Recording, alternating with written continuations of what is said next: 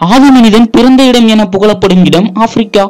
இயற்கை காடுகளை அதிக அளவு தண்ணீர் கொண்டிருக்கும் ஆப்பிரிக்க கண்டத்தில் வெளியுலகம் அறியாத எண்ணில் அடங்காத பழங்குடி மக்கள் இன்றளவும் இயற்கையை ஆரவாரமாக கொண்டாடி மகிழ்ச்சியாய் வாழ்ந்து வருகின்றனர்.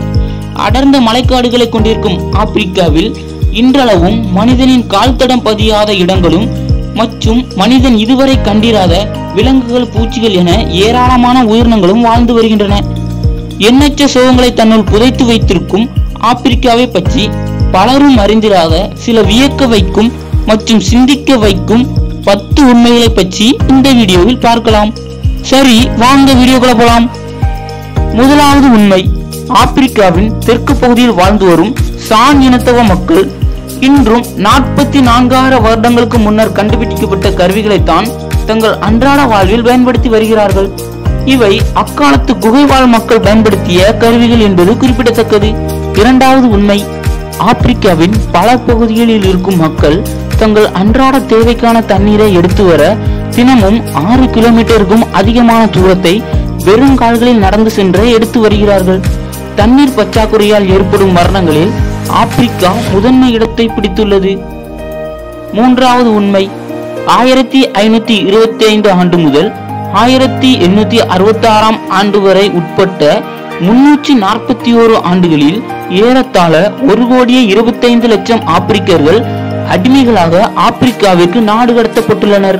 இவர்களில் ஒன்று புள்ளி எட்டு மில்லியன் பேர் பயணத்தின் இடையிலேயே இறந்து விட்டார்கள் நான்காவது உண்மை ஆப்பிரிக்காவில் வாழ்ந்து வரும் ஐந்து முதல் பதினான்கு வயதுக்குட்பட்ட சிறுவர்களில் நாற்பத்தி ஒரு சதவீதம் பேர் குழந்தை தொழிலாளிகளாக வேலை செய்து வருகிறார்கள்.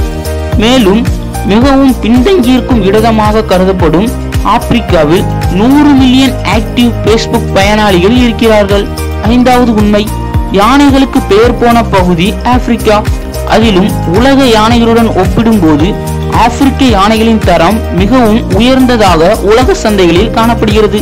தந்தம் மற்றும் இதர விஷயங்களுக்காக தினமும் தொண்ணூத்தி ஆறு யானைகள் ஆப்பிரிக்காவில் கொல்லப்படுகின்றன.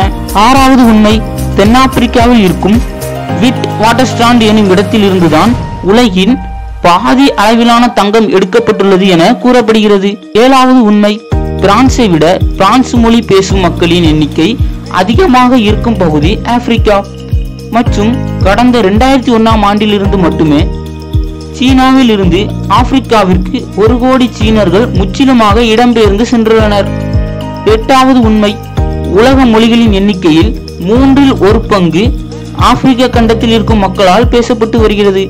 ஆப்பிரிக்காவில் உயிர் வாழ்ந்து வரும் மக்களில் முப்பத்தி ஏழு சதவீதம் பேர் படிப்பறிவு அற்றவர்கள். ஒன்பதாவது உண்மை மில்லியன் டன் எடைக்கணக்கில் ஆண்டுதோறும் எலக்ட்ரானிக் கழிவுகள் ஆப்பிரிக்காவில் கொட்டப்படுகின்றன.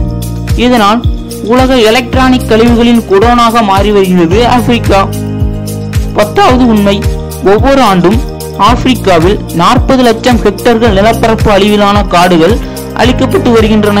ஒரு ஹெக்டேர் என்பது ரெண்டு புள்ளி நாற்பத்தி ஏழு ஏக்கர் அளவிலான நிலப்பரப்பாகும் அது மட்டுமல்லாமல் புதிய நீர்ப்பரப்பு உருவாகி வருவதால் ஆப்பிரிக்கா இரண்டாக பிரிய துவங்கி உள்ளது கடந்த இரண்டாயிரத்தி ஐந்தில் பத்தே நாட்களில் இருபத்தாறு அடி அகலமும் அறுபது கிலோமீட்டர் நீளமும் கொண்ட அளவில் ஒரு பிளவு ஏற்பட்டுள்ளது.